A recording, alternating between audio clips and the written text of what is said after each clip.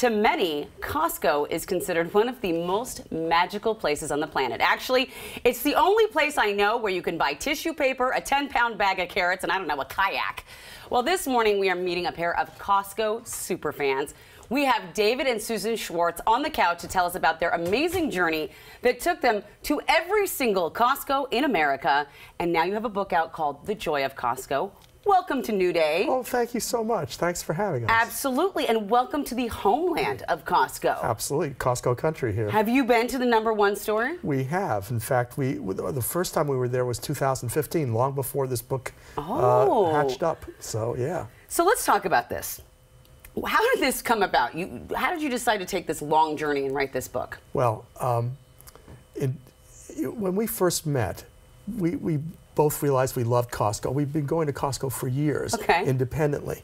Um, we love the quality, we love the uh, low prices, we love the fact that you never know what you're going to find at a warehouse. It's, there's always going to be some kind of wow thing going on. And uh, in 2016, I was finishing a book that I was writing about Enrico Fermi, the Italian physicist. And I was talking to Susan about other science projects that I wanted to do. And midway through this conversation, she blurted out, "Hey, I have an idea. Why don't we write a book together about Costco? We could we could travel all over the world. We could find out more about our favorite company." And, uh, and tell our mem- tell members and readers all about it. I have to say, I was fascinated by all the facts that you have put into this book. And, and really, truly, you know, I've been going since it was Price Club in Los Angeles. And so it's one of these things where everyone has had a bit of Costco touch their lives. Well, I got to tell you, we, we had some problems I, after I blurted this out.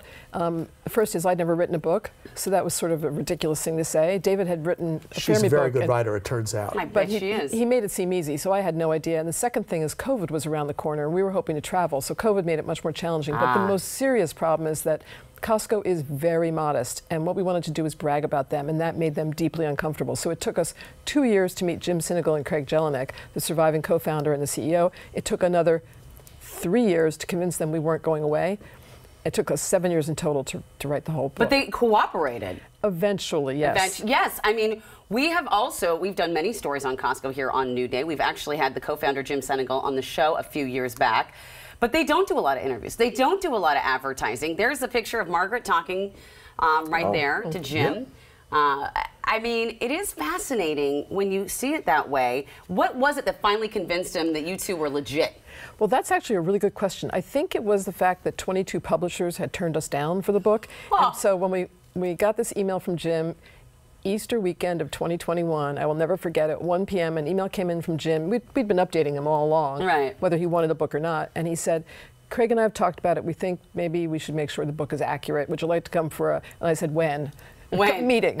when? And um, and when we met him then um, in May, um, we said to him, "We're publishing it ourselves because you think we're nuts already. We're really nuts." So we set up our own publishing company, Hot Dog Press, and we published the damn thing ourselves. We, we, we also told them that they could have the you know final review of the manuscript. You did. Yes, we did. That's all very kind. voluntarily. Voluntarily, you know, we wanted them to feel really comfortable with what we were doing. Because this is a this is kind of a fan love letter to Costco. exactly. we talk about some of the stuff that's negative as well, but we don't we don't dwell on it. We certainly don't talk about any of the competition. Everybody is. does something different. What competition? It, Just kidding. It is a love letter. Let's talk about this. You love it so much that you traveled all over 14 countries, 46 states, Puerto Rico, and DC.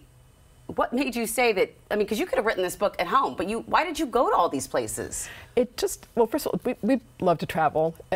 This is, I mean, we make, we, We do love to travel. We made Costco a write-off. I mean, this is great. We're happy for that. Um, Yeah. But um, just to get to see how different it is around the world, about 40% of the product is different everywhere you go. Really? So it's really fun for people like us. And also, the food court is so different, and the people are different. When you walk into a Costco in Taiwan or China or New Zealand, you know you're in Costco, but it's still different. They don't have hot dogs. They have hot dogs everywhere. In Asia and the South Pacific, they're, they're pork. All Okay. Instead of beef, but they put different toppings on them around the world. In Mexico, it's jalapeno pe- pe- peppers, and Yum. in Iceland, crispy fried onions. which are Look at that, fantastic. I bet. They're fantastic. Fantastic. I'll bet. So, what about um, some of the treasures you found in all your travels uh, around? oh, apparently, a $9,000 golf cart, which actually, I gotta say, I think that's a pretty good price for a golf cart. Am I wrong?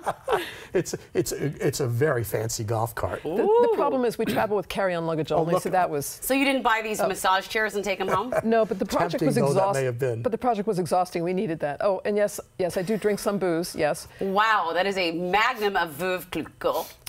And wait a minute, that's your book. That is our book. Yes. So Costco was selling your, you self-published it, but they're selling it. Yes, we found that out one month before the publication date. So we went ahead without any assurance or any presumption that Costco would sell the book. We are being broadly distributed in the U.S. and Canada, Barnes & Noble, on Amazon.com, independent bookstores, and we were Snoopy dancing when we heard they decided to sell it. I was gonna ask. Really grateful because they're highly curated. They sell only 3,800 items in a warehouse. Yeah. A supermarket sells 40,000 and Walmart sells 140,000. So to get to be in the warehouse, which is the Costco store, Yeah. is and not only that, but on the book table is On, she's speechless. It never happens, You know what yes, I I learned am. from your book, which I did not know. I learned a lot of things actually, which we'll get into later. But I learned that 25% of all book sales that can be, if they're sold at Costco, 25% of, of what they make comes from Costco. Is that? Did I accurately quote that? Tell me if I didn't. Yeah, if a book is carried by Costco, they they will often, you know, sell at least 25% of the run. It, it, that can be, but also Costco has an unbelievably generous return policy. So if people don't like the book, they can return it. Please don't. We self-published. Don't do But- it. but- You're not going to want it. You're going to actually Don't want it. Everybody's going to run out and get this book right now. Um, I think it's fascinating. Okay, here's the thing. I do. I love Costco. I really do. But it's. I get a little stressed. I actually feel that they should hand you a shot of tequila when you walk in, just so that you don't. Not the kids, just the adults. Um, because I feel like I'm always in someone's way.